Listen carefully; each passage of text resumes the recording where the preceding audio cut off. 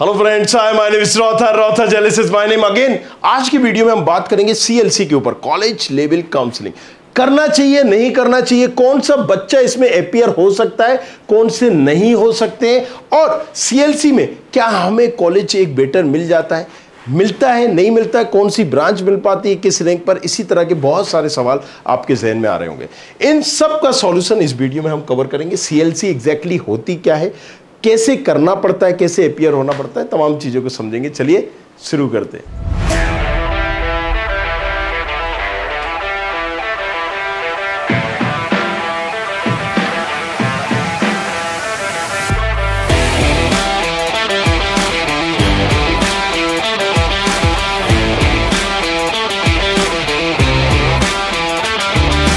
सो so, आसान भाषा में हम समझेंगे सीएलसी के ऊपर। College level counselling college level नाम से ही समझ में आ रहा है, कॉलेज अपने लेवल पे काउंसलिंग कर रहा होता है तो ये इस सब की नौबत आती क्यों है? क्योंकि देखो, यहाँ पर एक डीटी डीटी क्या है? एक कंडक्ट बॉडी है जो एमपी में एडमिशन कर रही होती है इंजीनियरिंग की नहीं एमबीए की भी फार्मेसी की भी।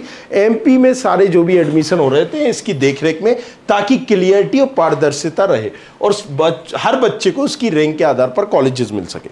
डीटी ने क्या किया कि भाई एक डेट निर्धारित कर दी कि देखो भाई साहब, ये ये ये कॉलेजेस हैं, इनकी ये ये सीटें जिसको लेना है, आप एक काम करो डीटी में आओ रजिस्ट्रेशन करो और फिर चॉइस फिलिक कर दो। मतलब आप अपनी चॉइस से बता दो कौन से कॉलेजेस चाहिए। आपकी रैंक आपकी कैटेगरी जो होगी, उसके आधार पर हम आपको कॉलेज अलॉट कर देंगे।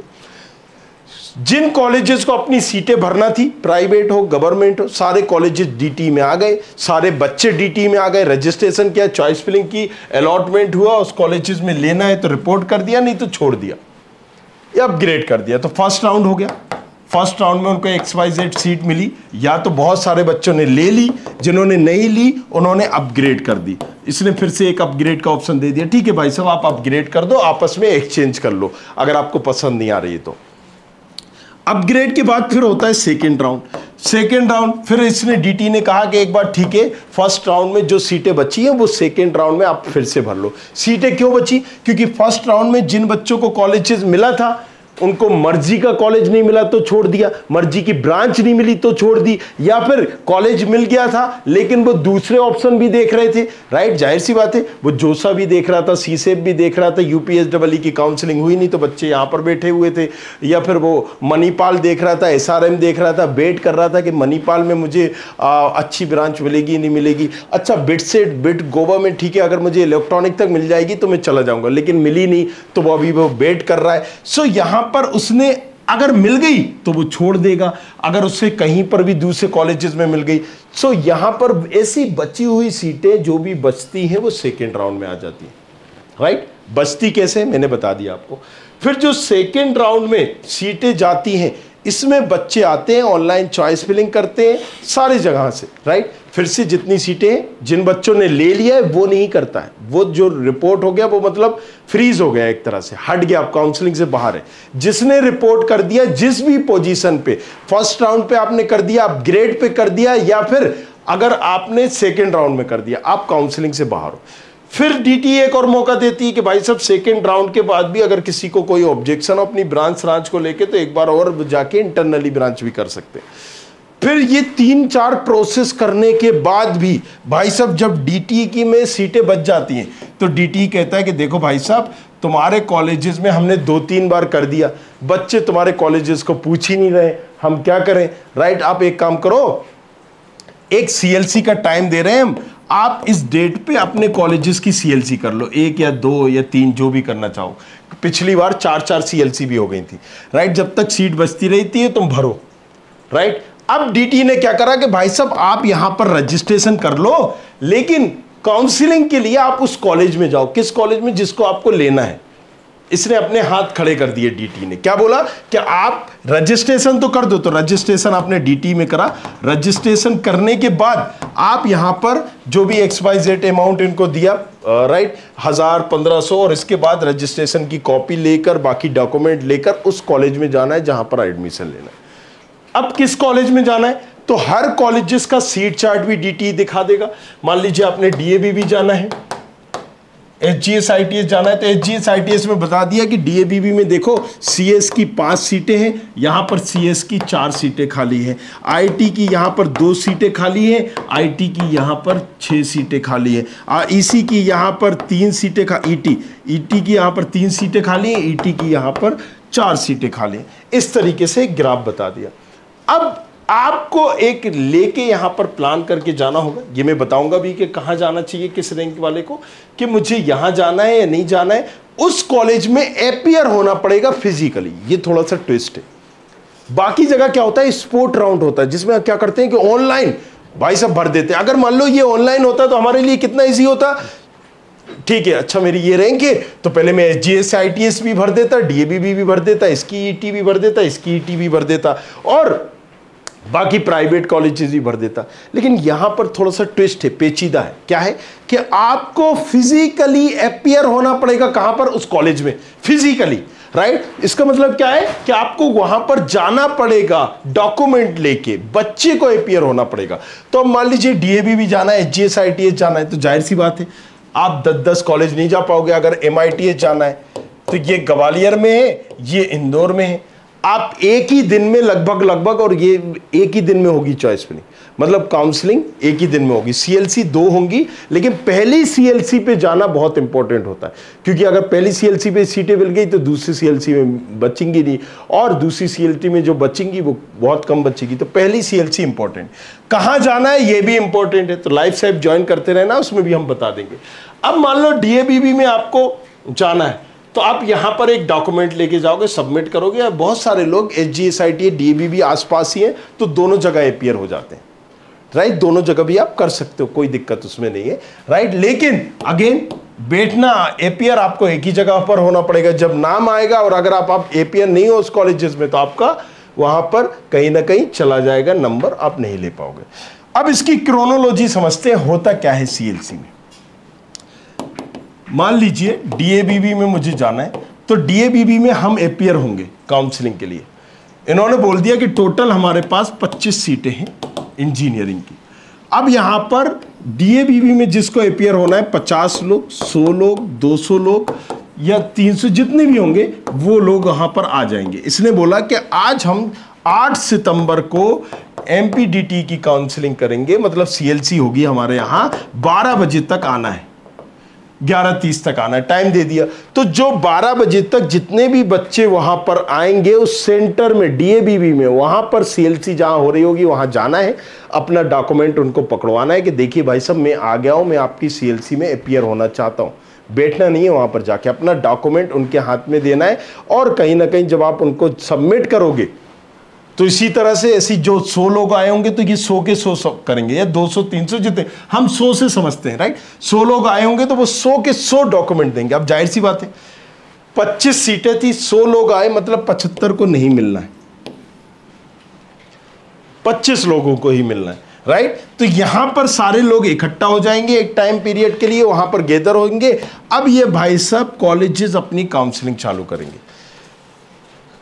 सीएलसी नाम क्यों दिया है? कॉलेज लेवल काउंसलिंग क्योंकि यहाँ पर नियमों को तोड़ा मरोड़ा भी जाता है, अपने नियम से करा जाता है। टाइम दिया बारह, हो सकता है काउंसलिंग करें छह। पान वाले भैया जब फ्री होंगे तब करेंगे। सीधी सी बात है। गवर्नमेंट ऑफिसर समझ में ही आ गया होगा क्या है गवर्नमेंट के काम कैसे। हो सकता है कि काउंसलिंग ही तुम्हारी चार बजे चालू हो, और हो सकता है तुम कॉलेजेस में रात को बारह बजे तक एपियर रहो। बहुत कई कॉलेजेस में ऐसे ही लेट लतीफ़े होता है। आरजीपी भी माहिर है इस मामले में राइट एमआईटीएस माहिर है इस मामले में। कई कॉलेजेस जहाँ पर अच्छा एक होगा अधिकारी, वो फटाफट इन चीज़ों को करेगा और सारी चीज़ें कर देगा। कुछ लेट लतीफ़ी बेवजह ही कर रहे होते हैं। ठीक है, बच्चे चले जाएँ, बच्चे भग जाएँ, बच्चे तमाम चीज़ें। तो बहुत सारी चीज़ें हो रही होती हैं राइट यहाँ पर जो पिछले पाँच छः साल का ग्राफ देखें तो कई बार काउंसलिंग आपकी रात रात तक भी खिंचती है दो दो बजे तक भी राइट ये भी आप क्लियर समझ लीजिए, खा पी के जाना, इंतज़ाम करके जाना। तो उन्होंने टोटल सीट बताई टोटल बच्चे एपियर हुए, जितने बच्चे एपियर हुए सो मान लीजिए एपियर हुए, और सभी ने अपने डॉक्यूमेंट दे दिए मतलब जेई का स्कोर कार्ड दे दिया, उस जेई के स्कोर कार्ड पर कहीं ना कहीं रैंकिंग दे दी जाती है कि ठीक है भाई साहब। अच्छा पचास हज़ार की रैंक वाला आया। अच्छा ठीक है। अच्छा साठ हज़ार की तो ये मिल के बढ़ते क्रम में। पचास हज़ार, साठ हज़ार, बासठ हज़ार या सड़सठ हज़ार राइट बहत्तर हज़ार, इकहत्तर हज़ार, एक लाख। या हो सकता है कि एक लाख तक की रैंक में एक ही बच्चा और एक लाख से दस, एक लाख दस हज़ार तक की रैंक में दस बच्चे हों। मतलब एक लाख में की रैंक में एक ही बच्चा था, लेकिन एक से दस में दस बच्चे हो गए किसी की एक लाख, दो हज़ार, तीन हज़ार, पाँच हज़ार, आठ हज़ार, नौ हज़ार, इस तरीके से। तो ये जितने बच्चे आ रहे हैं, अगर पचास हज़ार की सबसे कम रैंक वाला बच्चा आया है तो पहले इसको बुलाया जाएगा। बुलाया जाएगा और इससे पूछा जाएगा कि भाई साहब, तुम्हें कौन सी ब्रांच चाहिए? तो वो बच्चा ब्रांच ले लेगा। लेकिन क्या ऐसा ही है सबसे कम रैंक वाले को बुलाया जाएगा? नहीं, ऐसा भी नहीं है। थोड़ा सा और क्रोनोलॉजी समझते हैं। डीएबी ने बोला कि हमारे पास 25 सीटें हैं। लेकिन वो ये भी बताएगा कि इन 25 सीटें में से सीएस की पाँच सीटें हैं और इन पाँच में से एसटी की एक है, एससी की एक है, ओबीसी की कुछ नहीं है और जनरल की यहाँ पर दो हैं, ईडब्ल्यूएस की दो हैं। राइट? सो so, इसका मतलब साफ़ है अब क्या ओबीसी वाले को नहीं मिलेगा? ओबीसी वाले को यहाँ से नहीं मिलेगा तो जनरल कैटेगरी से तो मिल ही जाएगा। तो मतलब ये है लेकिन जिसका एसटी वाला है एससी वाला है ये सिर्फ़ एससी वाले को मिलेगा। अब जो पचास हज़ार वाला रैंक वाला है वो जनरल है तो इसको जनरल की ये दो सीटें ही उसमें काउंट की जाएँगी। जो एसटी की है एसटी वाला कहाँ पर है? तीन लाख वाला ही आया डायरेक्ट तीन लाख रैंक वाला। उससे पहले कोई एसटी का है ही नहीं तो इस ससरे को मिल जाएगी। राइट इसको मिल जाएगी। एसटी की। एक जो ब्रांच बची है, वो। अब यहाँ पर ईडब्ल्यू e वाला ईडब्ल्यू e वाला सिर्फ़ दो लाख से पहले है ही नहीं। तो उसको ईडब्ल्यू e की दो सीटें थी, उसको एक मिल गई। एक खाली रह गई, बची रह गई। अब ये कन्वर्ट करेंगे उसको। जनरल में, बाद में, जब वो कोई ईडब्ल्यू वाला नहीं आएगा। पूछेंगे ईडब्ल्यू वाला है? हे? नहीं है? अच्छा आ जाओ तो तब ये करेंगे। नियम ये कहता है कि एसटी वाला नहीं आता है तो एससी में कन्वर्ट कर दिया जाए, लेकिन वहाँ पर अगेन पान वाले भैया कुछ चटकेले होते हैं तो नियम को दरकिनार करते हैं, वो यहाँ पर एसटी वाली सीट को भी जनरल में कन्वर्ट कर देते हैं। कुछ अगर जिसको नियम कायदे पता होते हैं, या हम जैसे लोग अगर पहचान पहुँच जाते हैं, नियम कायदे बताते हैं तो फिर लाइन पर भी आ जाते हैं। सो so अगेन ये सारी प्रोसेस है। यहाँ पर उस कॉलेज में अपियर होके आपको ये सारी चीज़ें करनी पड़ती है। जैसा कि मैंने बोला कि कई कॉलेजेस जानबूझ के भी डिले करते हैं इस चीज़ को भी ध्यान में रखिएगा। अब ये चीज़ें हो गई right S T S C O B C general ये तमाम चीज़ें। राइट कॉलेजेस का बुलाना सीटों का होना कई कॉलेजेस आपको सीट बताते भी नहीं है ये किस किस सीटों की? सीट चार्ट नहीं लगाते मेक श्योर sure, अंदर ही अंदर करते रहते हैं गबड़ गुपड़ गुड़ राइट समझ में आ रहा है? तो ये भी चीज़, अगर ऐसा होता है तो आपको यहाँ पर स्टूडेंट खबरी में बताना है, हम उस कॉलेजेस का, हमें बैंड बजाना है। चलिए, आगे चलते ये हमने किया, बच्चे को बुलाया, बच्चे से पूछा कौन सी ब्रांच चाहिए। अब आपका जब तक जब तक नंबर आया सीएस की ब्रांच खत्म हो चुकी थी ईसी e की बची थी। अब आपसे पूछा जाएगा कि ईसी e आपको चाहिए। आपने कहा, यार, इससे अच्छा तो मैं मणिपाल में सीएस लेके बैठा हूँ इसी e मुझे चाहिए। आपने बना कर दिया। तो अब नेक्स्ट जो बेटिंग में उनका नंबर आएगा। ज़रूरी नहीं जितने हैं उन्हीं को मिल जाएगा। क्योंकि बहुत सारे बच्चे किसी को इलेक्ट्रिकल चाहिए ही नहीं है। वो सी एस आई टी के प्लान से आया था। अब इलेक्ट्रिकल बच्ची है, वो उठी गई है। उसको इलेक्ट्रिकल मिल रही है, लेकिन उसको नहीं चाहिए। ऐसा बहुत होता है। हो गई ऐसा।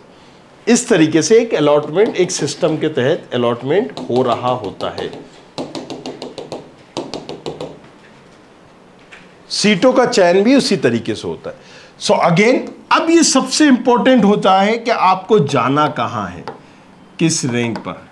राइट सीएलसी में आपको कहाँ जाना है?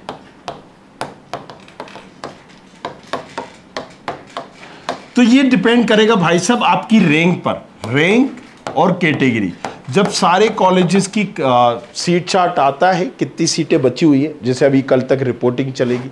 रिपोर्टिंग के बाद इंटरनल होगी इंटरनल के बाद जो सीटें बचेंगी, उसमें पता चलता है कि कहाँ जाना है। जैसे मैंने कई इंटरनली के बाद भी first round second round internal सबके बाद में बता देता हूँ।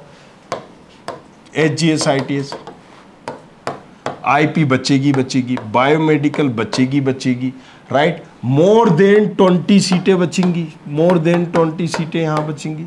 तो ये सारी चीज़ें भी आपको समझना है राइट बायोमेडिकल में भी बचेगी आईपी में भी बचेगी. अगर डीएबीवी में जाओगे तो डीएबीवी में सिविल बचेगी मैकेनिकल बचेगी.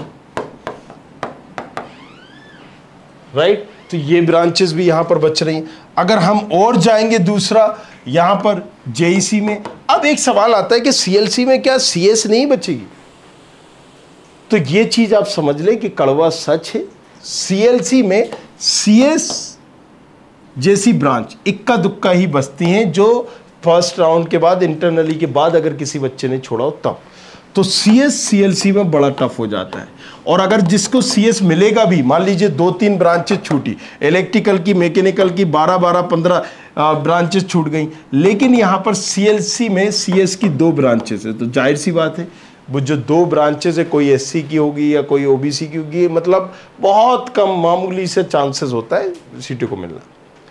कितनी सीटें बचेंगी क्या बचेंगी ये डिपेंड भी करता है काउंसलिंग पर। H G S I T DABV में जितनी सीटें बची थी पिछली बार इस बार उसकी आधी भी नहीं बचेंगी। ये मैं पहले ही तुम्हें बता रहा हूँ ऑन कॉल ऑन रिकॉर्ड तुम यहाँ पर रिकॉर्ड कर लो कहीं ना कहीं स्क्रीन ले लेना।